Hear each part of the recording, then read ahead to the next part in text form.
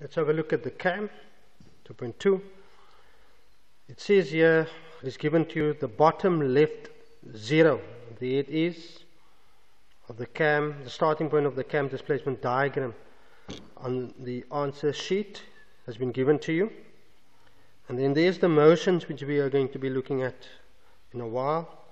But the instruction here is that you have to draw only the displacement diagram um, and there's a scale of 360 equals 180 so what I'm going to suggest from there you draw a horizontal axis and you draw a vertical axis there.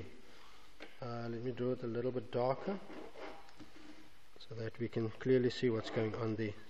And then they say the scale here is and it's very important that you print it down here. I like to do it between two um, 5 millimeter lines. Is that I'm going to say here cam. Displacement graph. Right there it is. And I'm going to write the scale here. And the scale is 360 degrees equals 180 millimeters. And that's basically our scale that we see there. Okay very importantly. Now you know for a fact that there will be 12 spaces in our cam displacement diagram. So what you need to do is you need to take the 180 millimeters on here and you're going to find the 180 millimeters would be right there. And inside that there would be 12 spaces. So we need to say 180 divided by 12 and that's going to leave us with 15 so you're going to measure 15 millimeters there. And I am going to take my compass and I open my compass at 15 there and then I'm going to just cut it off 12 times okay? And once I've done the 12 times I'm going to draw my lines up and I will find that my maximum height of my displacement is 80 so I'm going to measure off 80 here as well. So 80 is going to be there. That's going to be my maximum and I can pick it up here what my maximum is by just reading through this and it will tell me what the maximum would be. If you do, if they don't tell you what the, the maximum is you need to work it out. You to say it rises by 15 and it rises by 65 to its maximum then you know the 16 the 15 plus 65 gives us 80 and then it drops. So you know those two together gives us 80 so let's do that quickly by drawing all the lines vertically measuring and drawing all the lines vertically in a box format.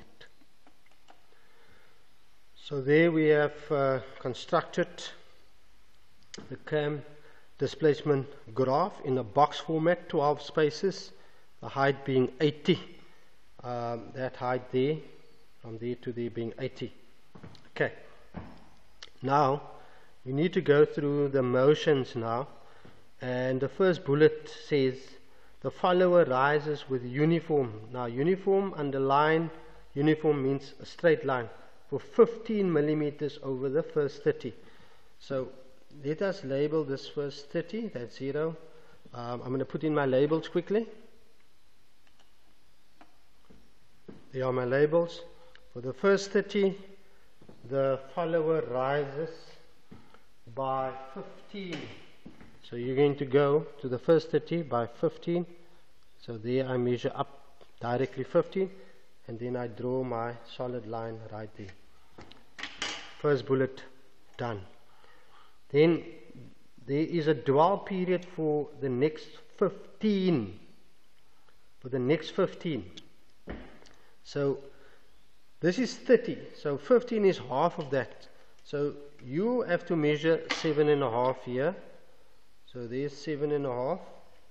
Then you're going to draw a line there and you know for only 15 of degrees that is going to dwell there and then the follower rises with simple harmonic through a motion for 65 over the next 135 to the maximum displacement of 80 so it rises and you need to find now it's going to rise until 135 now 135 is going to be in between 120 and 150 precisely in the half. So you have to measure. That's seven and a half here. That's 135 exactly.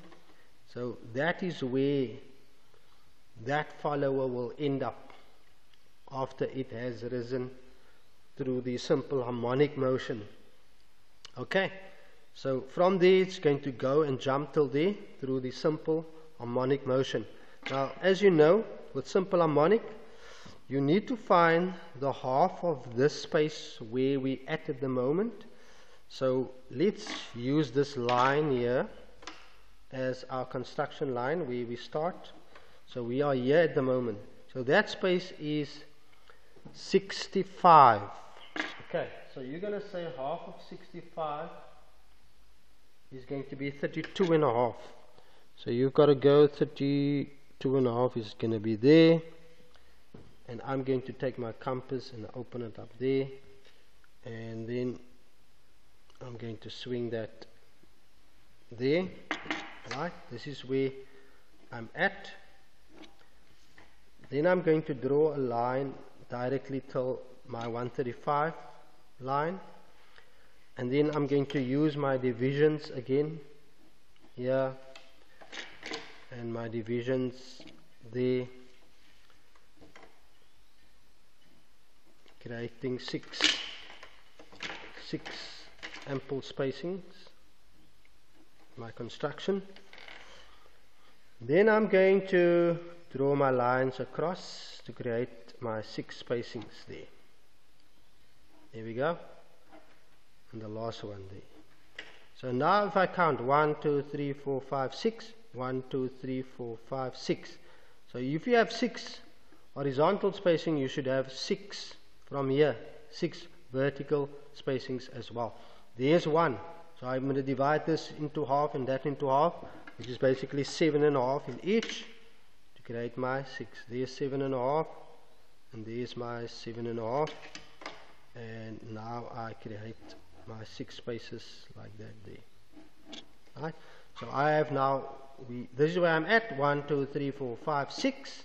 One two three four five six. And now I can plot a point, this is where I'm at. I'm going to plot it here, plot it there, plot it there, plot there, plot there, plot there. And you're going to find that you're going to be doing something like this and I can go over the dark like that there. There's my simple harmonic. Then it says further, the there is a dwell period for the next 90. Now, you are at 15. 15 plus 30, that's 45. And then you go another 30, so it's going to be halfway. so you've got to measure another seven and a half here to get to the next point. So once again, 30 plus 30 plus 15 and 15, that gives us 90. So that dwell period is still there. Now, very importantly, the follower then returns with uniform acceleration and retardation to its original positions over the rest of the rotation. So from there, it's going to drop down to here with acceleration and retardation. So what you need to create, you need to draw a faint line across here. start with a faint line like that. And you need to have half of this, right? This is the box that you're going to be working in. But because there's an halfway there, these spaces might not normally coincide with the odd one there. So I would suggest that you erase these lines right? And just keep this box. Let's do that quickly. So there I've erased those lines. And why did I erase? Because we have an odd one here and we need to ensure that there are six spaces here. And that's one, two, three, four and a, and a half. So it's not actually going to work out. In most cases, these will be six or there will be three which you have to halve to get a perfect six. Six on six. And in this year, which is now 80, we have to find the middle. So that's 80 so the middle is 40 and I'm going to draw a line and mark it right there. Where it crosses with that. When I see that there I'm going to draw my my middle line there now. Now I've divided this space here and I've divided that space here right? That space now and that space they are equal. So in this space I got to create three and I've got to create three here. And in this space here I'm going to create six as well. So let's do that. So let's do the, the first one which is the vertical one. In this space down here there must be three spaces and then three spaces to make up six. So when I measure that that's going to be 40 and then I'm going to say on my calculator 40 divided by 3 and that's going to give us 13.3 so I'm going to make it 13 that's going to be my 13 there and my 13 would be right there. And then I'm going to go 13 here. So that's going to be my 13 there and that's going to be my 13 right there. So that's in the middle. I created my points. Right? Those are my points there and I leave those points right there. Then I'm going to take this here. That distance here is going to be um, 60, say 68.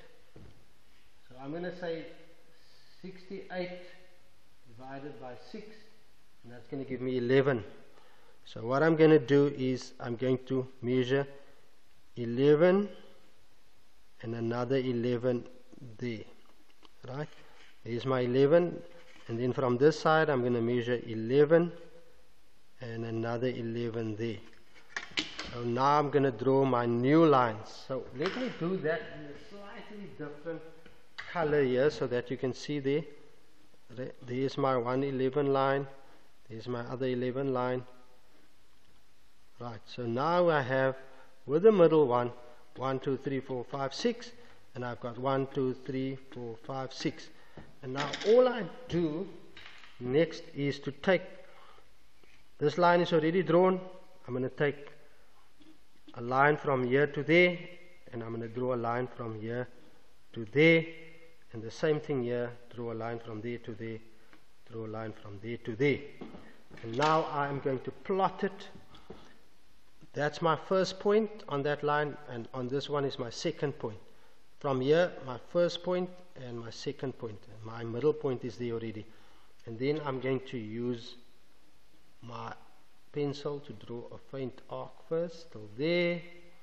Once I have it I'm going to darken that arc right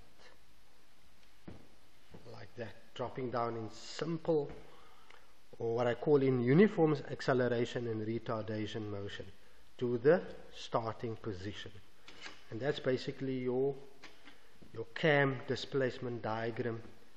In terms of uniform then a, then a dwell period and then a simple harmonic with this construction then it dwells and then you have your six along that side and your six from the middle three on top three at the bottom a straight line your lines going to each of the three two points here and two points there and the plots of those coordinates here and coordinates there. This one, this one you need to practice, practice, practice to ensure that you can get that construction right.